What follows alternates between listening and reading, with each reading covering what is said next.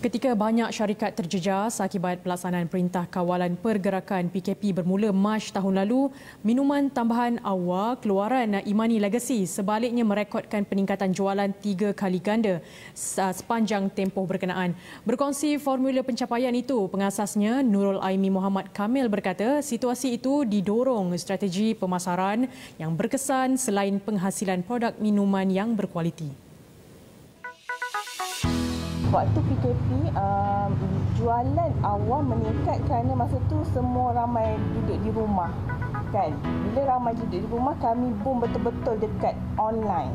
Online punya marketing. Uh, jadi kita buat dalgona kita buat uh, live waktu tu. Dan uh, kebetulan waktu tu juga berpuasa. Bila puasa ramai mencari minuman yang uh, tahan uh, tahan lapar Minuman tambahan awa menggabungkan bahan-bahan berkhasiat seperti kurma, madu, buah zaitun, kurma zafaran dan habatus sauda. Awa juga tidak mengandungi maltodextrin, gula putih serta kafein. Setakat ini awa tampil dengan enam perisa iaitu awa susu unta pisang, awa strawberry, awa coklat mocha, awa cappuccino latte, awa coklat dan awa dara karamel. Imani Legacy juga mengeluarkan awal susu kambing perisa vanila dalam bentuk tablet dengan hampir 3,000 ejen di seluruh Malaysia dan Brunei.